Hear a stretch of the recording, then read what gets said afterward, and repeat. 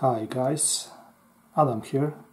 In this episode I will show you how to watch a real TV, aerial TV on your smartphone. So this is something new and to do that you would need to buy RTL SDR dongle with the adapter that is uh, fitting your USB OTG port here in a smartphone and some antenna, it may be telescopic if you are nearby the TV station, TV sender, or something like this, a dipole actually, uh, that is uh, able to fit to any frequency from aerial TV.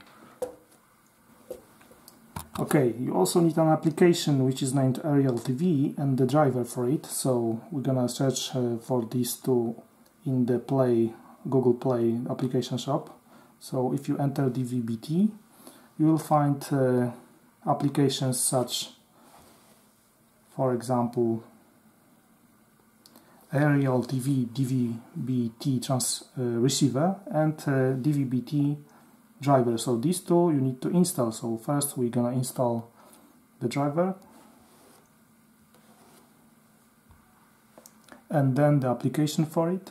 Remember that it may collide with the SDR touch application if you have one. So we can run it but so far it doesn't allow for for anything because you need the application. The main application is named Aerial TV from developer Martin Marinov. So we install also the second one.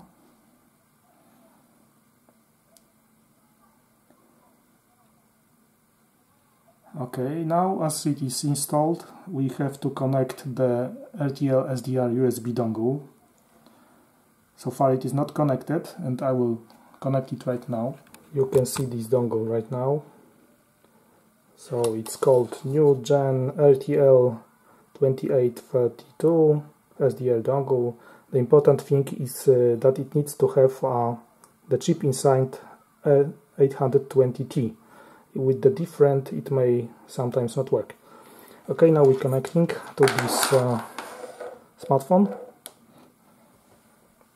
Now you have to select correct driver. So the one for this application is the DVB-T now it is connecting to the dongle and then it will try to search uh, the frequencies for available TV stations. We press the search button and now it starts to search. So now it will take a couple of minutes until it finds all the base all, all the TV stations that are nearby, maybe even faster than that. You can already see some of them are appearing on the list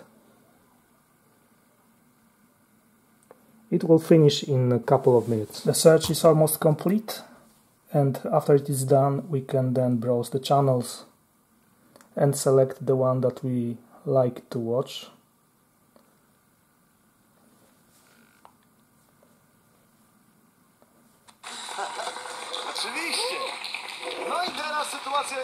As you can see, we can browse channels right here for example like this. The image is crystal clear. and uh, I have to warn you that the shareware version only allows you to watch for a couple of minutes and then you have to pay something like two dollars. But it's worth to pay. I would encourage you to buy this application. So that's all for now. If you enjoyed this little video, please leave me a like and subscribe my channel. Thank you very much. Thanks for your support. Bye bye.